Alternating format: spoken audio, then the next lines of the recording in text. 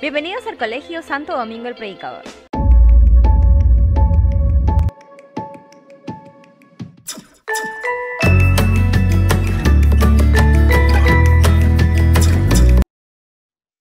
El tema que nos toca ver el día de hoy es el tema de calorimetría, que vamos a estudiar los aspectos físicos del cuerpo y cómo se va a obtener el equilibrio térmico, ¿no? térmico disculpen, cuando mezclamos diferentes cuerpos a diferentes temperaturas. Lo primero es el calor. ¿Qué es? Es una forma de energía que vamos a transmitir desde un cuerpo que sea más alta temperatura hacia un cuerpo de más baja temperatura. La propagación del calor va a ser por tres. Por conducción, que puede ser, en este caso, en los sólidos, cuando uno de, un sólido de alta temperatura se, se une con otro de baja temperatura. De por cuerpo a cuerpo mediante el contacto, es la conducción. Ahora, por convección, esto se va a dar en los líquidos y los gases, ¿ya? Por ejemplo, lo podemos ver cuando hervimos el agua en la atmósfera a causa de los vientos. Y por último, por radiación. Esto de acá lo vamos a ver, por ejemplo, en el calor que nos da el sol, ¿correcto? Porque ese calor que nos da el sol está cruzando el espacio vacío y nos llega hacia nosotros. Entonces, ¿por qué hay propagación del calor? Por conducción, convección y radiación. Muy bien, chicos. Ahora, las escalas termométricas que vamos a ver son las escalas de Celsius, las que están en centígrados, Celsius o centígrados, las de Kelvin y las de Fahrenheit. Acá te he colocado algunas conversiones por si deseas saberlo. Si te dan en centígrados, por ejemplo, y los quieres en Kelvin, le sumas 273. Si te lo dan en centígrados y los quieres en Fahrenheit, lo tienes que multiplicar por 9 quintos y le sumas 32. ¿Qué podemos hallar acá? Podemos hallar la cantidad de calor, chicos. ¿Qué es la cantidad de calor? Es esa magnitud física que nos va a pedir medir o nos va a permitir medir cuánta energía calorífica ha ganado o también puede perder un cuerpo. Recuerda que si tienes un cuerpo que tiene mayor temperatura, ese va a perder, y el cuerpo que tiene menor temperatura, ese va a ganar. ¿Está bien? ¿A qué es igual la cantidad de calor? Al calor específico por la masa y por la variación de temperatura. La cantidad de calor, chicos, lo vamos a trabajar en calorías, ¿está bien? ¿En qué unidades? En calorías. La masa ya sabes que está en gramos, tiene que estar en gramos, ya no lo vamos a trabajar en kilogramos, ¿ah? Vamos a trabajar la masa en gramos. Y la variación de temperatura, chicos, lo vamos a trabajar en centígrados, ¿está bien? Centígrados o Celsius. ¿Cómo vamos a hallar la variación? Disculpen. Va a ser la temperatura final menos la temperatura inicial. Esa va a ser la variación de temperatura. Temperatura final menos temperatura inicial.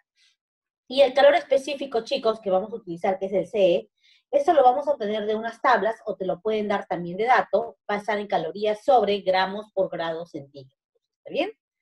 Que lo importante que el calor en que nos va a salir en calorías, la masa tiene que estar en gramos, la variación de temperatura es la resta, y el calor específico nos van a dar de tablas.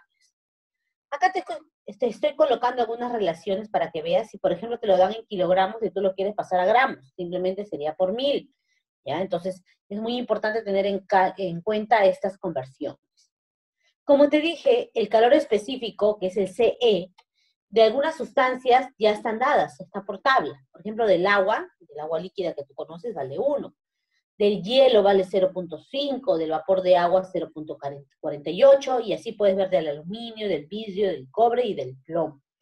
Estos son los más comunes que yo te estoy dando. Si es que alguno no te doy, no aparece acá y lo ves en un ejercicio, probablemente te lo esté dando de dato. Chicos, te lo esté dando de dato. Ahora, la capacidad calorífica de un cuerpo, que es igual, es la cantidad de calor que gana o pierde el cuerpo, pero por grado de variación de temperatura. ¿A qué va a ser igual? La capacidad, capacidad calorífica es igual al calor entre la variación de temperatura. O también podríamos decir que la capacidad calorífica es igual a la masa por el calor específico. Sigamos. Ahora, profesora, lo que es el equilibrio térmico, la ley de la termodinámica, la ley cero de la termodinámica. ¿Qué tienes acá? Por ejemplo, si tienes un cuerpo que está a una temperatura inicial 1 y lo vas a juntar con otro cuerpo que está a una temperatura inicial 2, estas temperaturas van a ser diferentes. Por ejemplo, uno puede ser que se encuentre a 70 grados centígrados y el otro a 20 grados centígrados. Cuando tú unes esos dos fluidos o esos dos cuerpos en un solo recipiente, va a aparecer lo que es una temperatura equivalente. Esta temperatura equivalente se puede decir que es un promedio entre la temperatura 1 y la temperatura 2. ¿Qué se va a cumplir siempre? Que la temperatura de equilibrio tiene que ser mayor que la menor temperatura y tiene que ser menor que la mayor temperatura. ¿Está bien? No puede ser, por ejemplo, si la mayor temperatura era 80 y la menor era 20, no puede ser que la temperatura de equilibrio sea 10. Siempre va a tener que ser mayor que 20, pero menor que 80. chicos? ¿Cómo vamos a poder hallar el calor? Mira, para un mejor análisis podemos definir la siguiente regla térmica. Que el calor ganado, chicos, más el calor perdido va a ser igual a cero. Toda la suma del calor ganado más el calor perdido va a ser igual a cero. Ahora, para poder trabajar con esta, con esta regla, vas a tener que ubicar siempre la temperatura inicial, la más pequeña, al lado izquierdo y la temperatura final, la más alta, al lado derecho. La temperatura de equilibrio, como está entre las dos, va a ir por el medio. Y acá, ya sabes que el que tiene menor temperatura gana calor y el que tiene mayor temperatura pierde calor. Como te digo, esta ecuación se le conoce como la ley cero de la termodinámica. Vamos con algunos ejercicios. El ejercicio 1 te dice, ¿cuánto calor en calorías, que es lo que te va a salir, será necesario proporcionar a un trozo de hierro de 50 gramos para elevar su temperatura de los 10 grados centígrados hasta los 110 grados centígrados? Considera que para el hierro, considera que para el hierro, el calor específico es 0.12, 0.12 calorías por gramos grados centígrados. ¿Cuál es la fórmula del calor? Ya te lo habíamos dado. El calor es igual al calor específico por la masa por la variación de temperatura. Vamos a llenar primero nuestros datos. La masa, ¿cuánto te dice que es? 50 gramos. Bueno, como ya está en gramos, lo dejas así. Muy bien. La temperatura inicial, que es la menor, ¿de dónde está partiendo? Sería de 10 grados centígrados. ¿Y llega hasta dónde? Llega hasta la temperatura final, 110 grados centígrados. Ahí está. El calor específico, chicos, ¿cuánto te dice que vale, profesora? Vale 0.12. Calorías, si quieres colocamos ahí, sería calorías sobre gramos por grados centígrados. Ese va abajo. Ver, disculpe. Grados centígrados, ya está ahí. Ahora, ¿qué es lo que necesitas en tu fórmula? Saber el calor específico lo tienes, la masa lo tienes y la variación de temperatura. ¿Te acuerdas que te dije que la variación de temperatura es la temperatura final menos la temperatura inicial? Ahí está. Entonces vamos a hallarlo. Profesora, la variación de temperatura sería la temperatura final llegó hasta 110 menos la temperatura inicial que partió de 10. Entonces, ¿cuánto es la variación? Miren, por favor, no se pierdan. La variación es 100 grados centígrados. Una vez que ya tienes estos datos, vamos a reemplazar en la fórmula, ¿correcto? Porque ya tenemos la fórmula, vamos a reemplazarlo ahí. Muy bien, profesora, entonces diríamos que el calor es igual a qué? Al calor específico que vale 0.12 por la masa que es 50 en gramos, recuerda, y por la variación de temperatura. Si tú quieres puedes poner 100 o puedes poner 110, que es la temperatura final, menos 10, que es la temperatura inicial como tú gustes y te sientas mejor. ¿Está bien? Profesora, entonces digamos que el calor es igual a 0.12 por 50 por 110 menos 10. ¿Cuánto nos salió? 100. ¿Qué podría pasar acá, profesora? Puedo multiplicar el, 0.12 por 100. ¿Cuánto sería? Profesora, el 0.12 por 100 sería 12. ¿Sí o no? Claro, profesora. Y 12 por 5, ¿cuánto es? 12 por 5 es 60, pero ahí quedó un 0. Entonces sería 600. 600 calorías. Lo puedes colocar como calorías o le puedes colocar 600 cal, que es lo mismo. Viene a ser el calor. Es la unidad del calor. Chicos.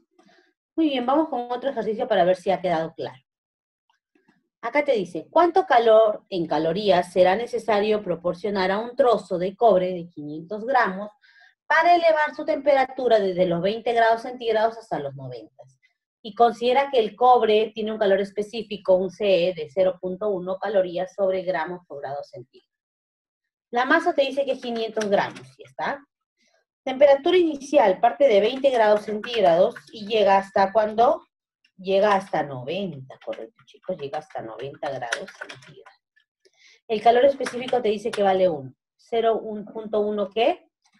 te está diciendo que vale calorías sobre gramos, ¿qué más? Gramos por grado centígrados. Ya está. Como ya tenemos la fórmula, pues solo nos queda reemplazar. ¿Cuánto valdría entonces el calor?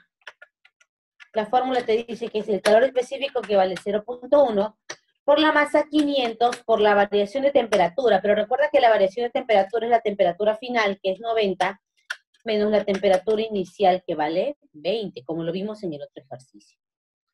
Entonces, el calor, ¿a qué sería igual? 0,1 por 500, 50, por 20 menos 70, disculpa, 20 menos, 90 menos 20, 70, 90 menos 20, 70. Entonces, ¿cuánto valdría el calor? Profesora, ahí sería 5 por 735, 2 ceros, 3.500 calorías o cal, si lo quieres simplificar, ¿está bien? Entonces, son ejercicios aplicativos para que puedas darte cuenta cómo aplicar las fórmulas.